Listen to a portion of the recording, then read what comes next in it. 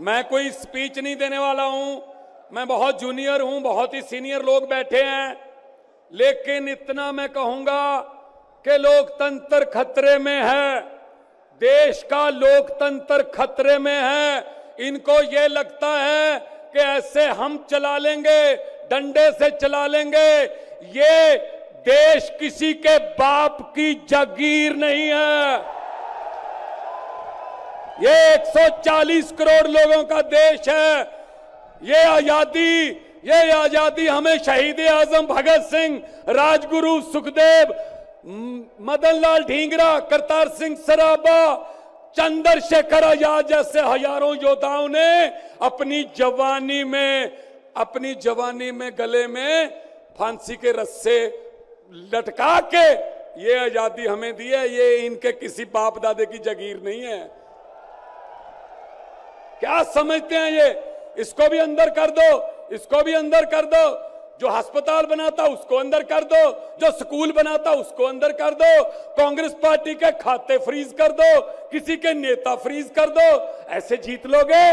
हम वो पत्ते नहीं हैं। हम वो पत्ते नहीं हैं जो शाख से टूट कर गिर जाएँगे। आंधियों को कह दो, अपनी औकात में रहें। समझते क्या है ये? अरविंद केजरीवाल को अंदर कर दो, हेमंत सोरेन को अंदर कर दो, इसके घर ईडी भेज दो, इसके घर इसकी एमपीशिप कैंसिल कर दो, इसका घर छीन लो। अरे मालिक तुम हो, इन घरों के मालिक तुम हो, इन घरों की मालिक 140 करोड़ जनता है। कोई पता नहीं किस घर में लोगों ने किसको पहुंचाना है। ये गलत फहमी में है। हुकूमत वो करते हैं जिनका दिलों पर राज होता है। यूँ कहने को तो मुर्गे के सर पे भी ताज होता है। आज सुनीता जी, आज कल्पना जी बैठे हैं, सोनिया जी बैठे हैं। मैं नमस्कार करता हूँ, नमन करता हूँ कि इन्होंने इतने दुख झेले। इन्होंने क्या क्या नहीं देखा अपनी ज़िंदगी में? आंधियाँ, तूफ़ान झेले, लेकिन फिर भी इतने हौसले वाले बैठे हैं और आपके साथ है, आपका प्यार जो है, सबसे बड़ी ऑक्सीजन आपका प्यार है। ये तालियाँ ये तालियाँ किसी को ऐसे नहीं मिलती। किसी को दिहाड़ी दे के मोदी मोदी करवाना बहुत इजी है। जब कोई दिल से बोलता है ना, वो बात असर रखती है। जब दिल से बोलता है, ये देश के टुकड़े टुकड़े करना चाहते हैं, जैसे राहुल जी कह रहे हैं। ये देश को नफरत की आंधी में लेके गए हुए हैं ये। ये सीए लेके आए। मैं पार्लियामेंट में था, मैं एमपी था तब।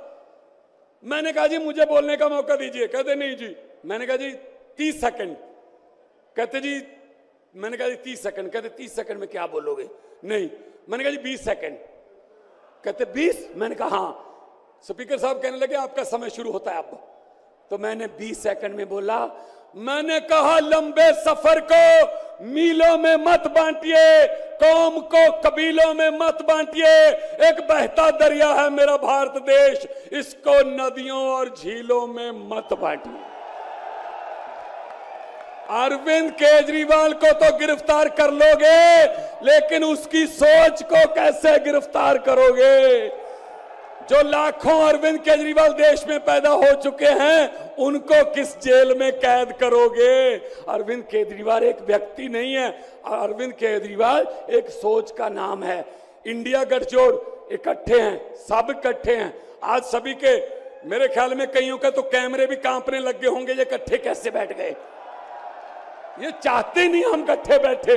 कभी ये इधर से, कभी इधर से, कोई वाह लेकिन मैं ये कहना चाहता हूँ सबको कि आओ इकट्ठे हो जाएँ और इन भ्रष्टाचारियों को कह दो। भगवंत मान ने बोला था, इन भ्रष्टाचारियों को कह दो कि जितने मर्ज़ी इकट्ठे कर लो, पैसे, हीरे, मोती, मगर ख्याल इतना रहे, कफन पे जेब नहीं होती। कोई पैसा साथ नहीं जाएगा। लूट लो देश को, कितना लूटना है।